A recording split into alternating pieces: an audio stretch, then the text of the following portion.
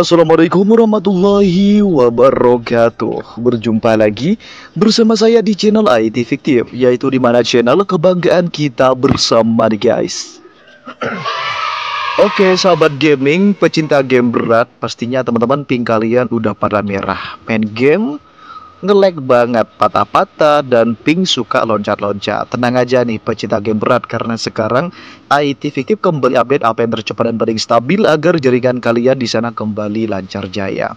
Biar tidak banyak berlangsung aja teman-teman bagi kalian yang baru mampir di channel IT fiktif atau yang masih belum berlangganan silahkan kalian tekan tombol like, komen, dan subscribe agar kita bisa berteman.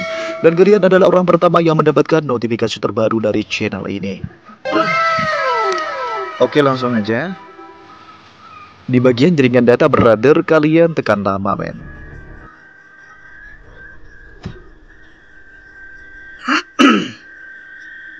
Kemudian di sini kita langsung diarahkan dua pilihan SIM card, SIM 1 dan SIM 2.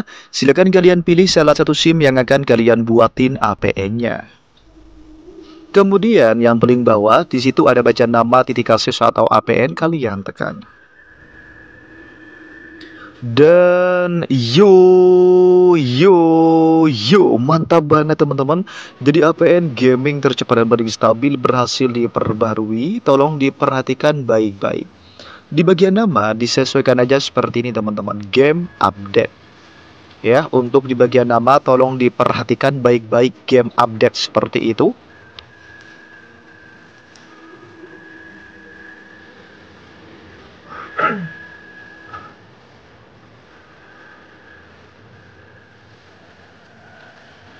Kemudian untuk di bagian APN-nya di sini mengalami pembaharuan sistem, artinya berhasil diperbarui oleh IT.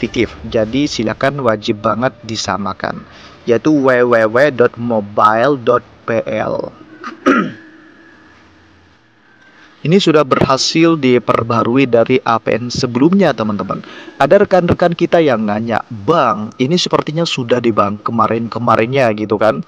Betul dan Mimi jelaskan Ketika APN itu diupdate tidak semua item yang terdapat di dalamnya itu dirubah tidak. Artinya ada beberapa item yang memang vital nggak sembarangan dapat dirubah. Sehingga Mimi lebih memilih lapisan-lapisan yang lain Yang nantinya akan diperbaharui men Seperti itu Kemudian untuk di bagian proksinya kosongin aja. Outputnya kosongin, nama pengguna kosongin, kata sandinya kosongin. nah, untuk di bagian servernya, di sini lagi-lagi wajib disamakan, yaitu 172.104.93.80.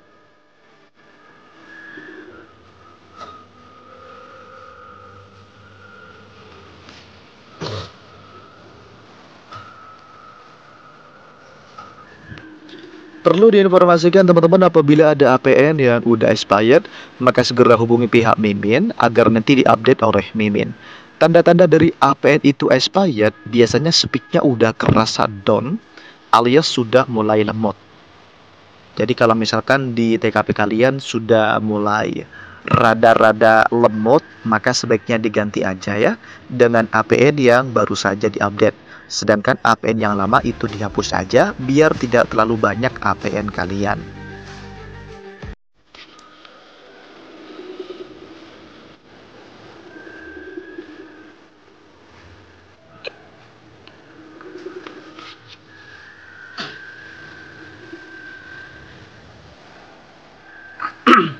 Kemudian untuk di bagian MMSI-nya teman-teman kosongin dan untuk di bagian proxy MMS-nya di sini lagi-lagi wajib disamakan yaitu 51.222.241.157.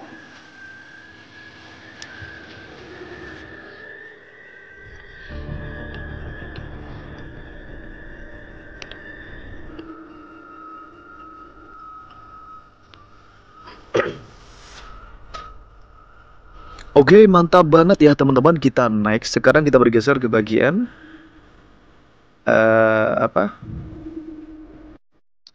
Port MMS-nya silakan isi dan wajib disamakan yaitu 29517 untuk di bagian port MMS-nya 29517. Dijamin ya kalian main game akan kembali lancar, no nge-lag, no patah-patah ya. Ping kalian akan stabil teman-teman. Kemudian untuk di bagian MCC-nya, di sini biarkan aja nggak boleh dioprak-aprik karena di situ sudah ada secara otomatis. Apalagi di bagian MNC-nya juga lebih rentan karena di setiap MNC ini beda-beda. Jadi meskipun tidak sama alias berbeda, jangan sampai dirubah. Jadi tolong dibiarkan aja seperti itu. Kemudian untuk di bagian jenis autentikasinya teman-teman kalian pilih yang paling bawah pub atau chop seperti ini